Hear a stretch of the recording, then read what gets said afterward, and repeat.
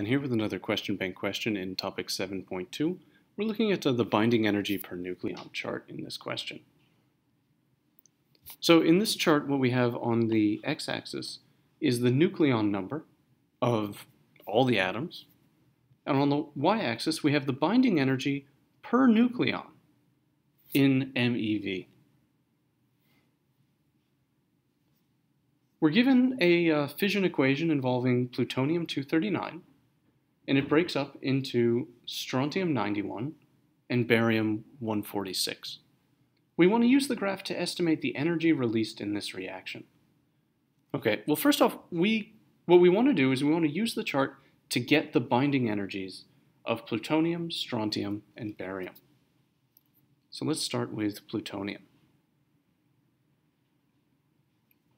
The binding energy per nucleon for plutonium-239 We'll read the graph right here at 239, come up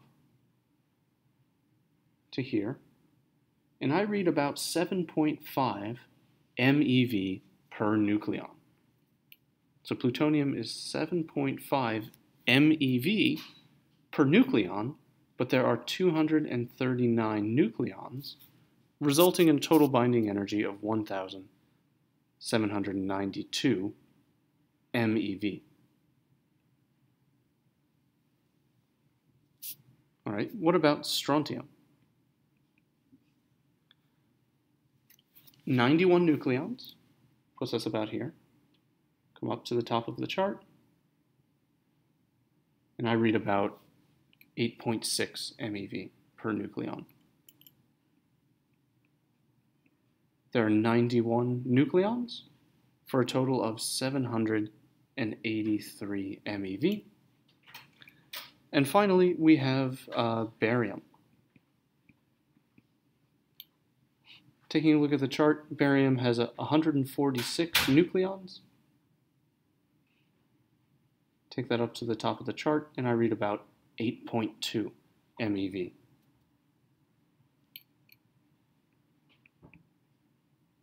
Barium has 146 nucleons, resulting in a total of 1,100 and 97 MeV.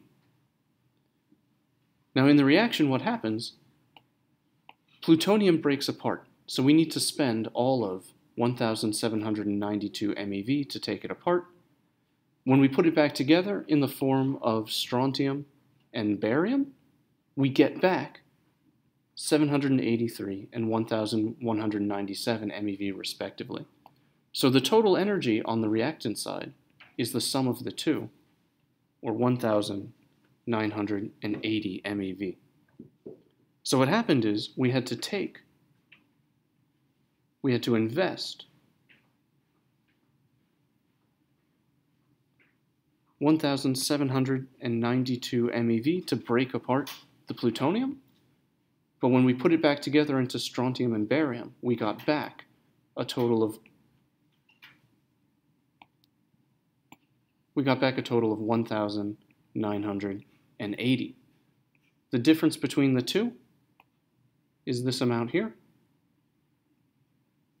and that's about 200 MeV.